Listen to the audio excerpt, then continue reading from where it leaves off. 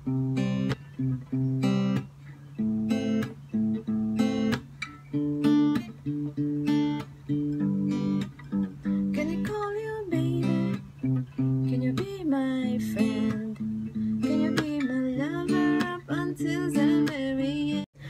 guys! Welcome po sa aking video. Ituturo ko po sa inyo ang plucking version ng kantang At My Worst ng Pink Sweats. Ito ay may apat lang din po na chords na tatandaan natin. Buong kanta na po yun. Sa buong kanta na po yun. So, ang mga chords na ito guys ay C, A minor,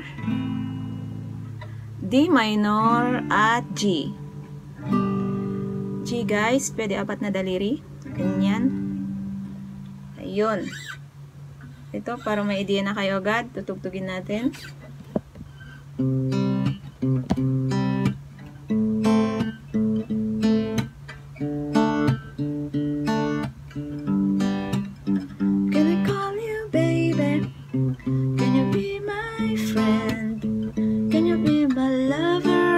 Until the very end? Let me show you love,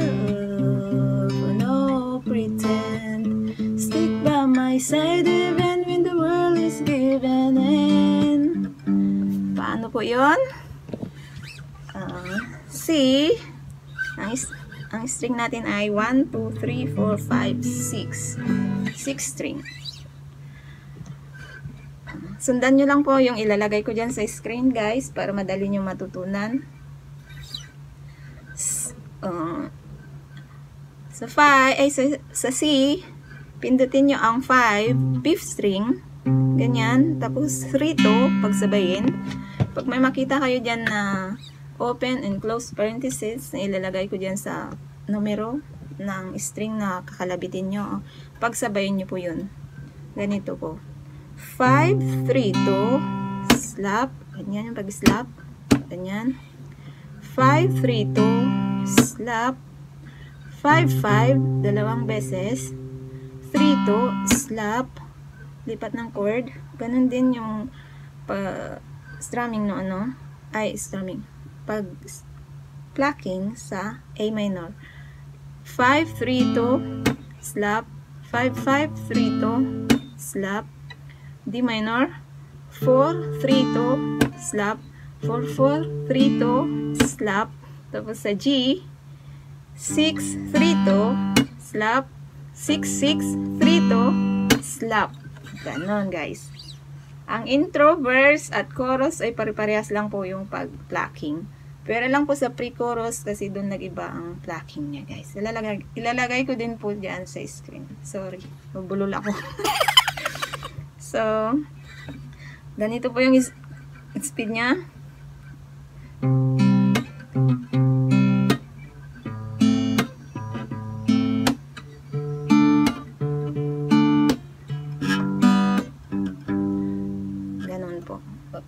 Pasok na sa verse.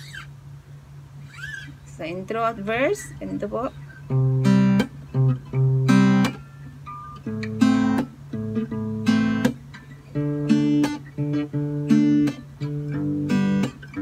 Pasok sa verse.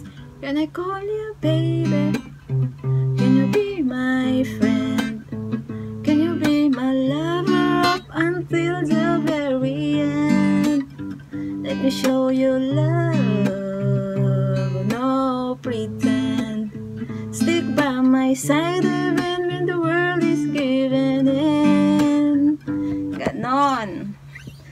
Madali lang to guys. Basta sundan nyo lang po ang ilalagay ko dyan sa screen. Kung anong string ang kakalabitin nyo. So, punta na agad tayo sa pre-chorus. Ganun din ang chords natin guys. C, A minor, D minor, at G. So, pag nakasi kayo, C, pindutin nyo ang 5th string, 4th string, 3, 2, 5, 4, 3, 2. Ganun din sa A minor, parehas, 5, 4, 3, 2. Sa D minor, 4, 3, 2, 1. G, 6, 4, 3, 2. Ganito. Oh, oh, ay, wait lang, sorry. Mm, you,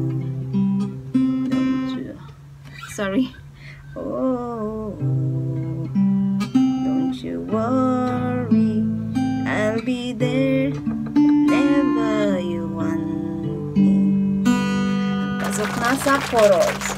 I need somebody who can love me at my worst. No, I'm not perfect, but I hope you see my worth. It's only you, nobody knew I put you first. For you, boy, I swear I do the worst. Ganon. Tapos, pre-chorus na naman. Oh, don't, don't you worry, I'll be there whenever you want me.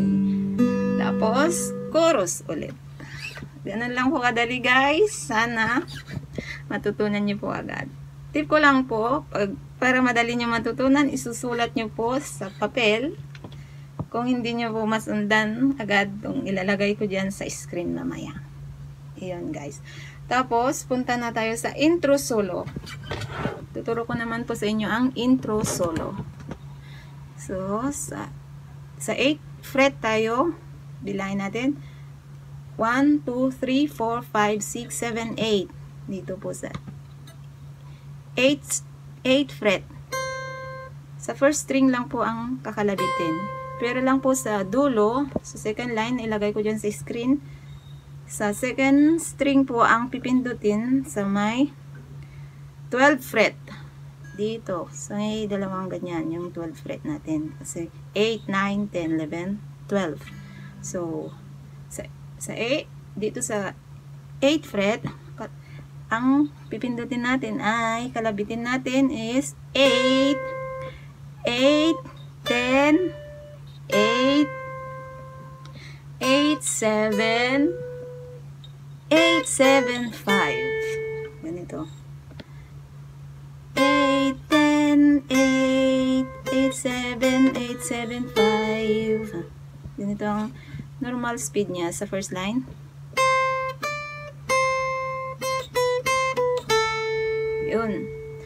Tapos, sa second line,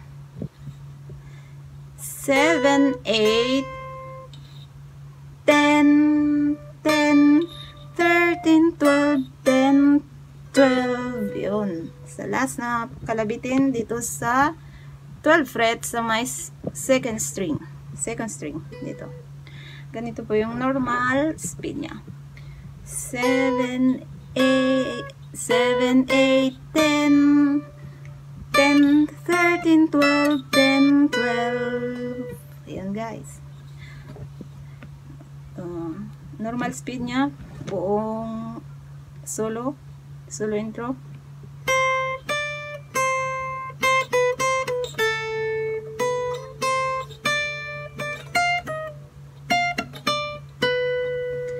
Ayun. Susulat ko po dyan sa may screen. Walang problema po doon.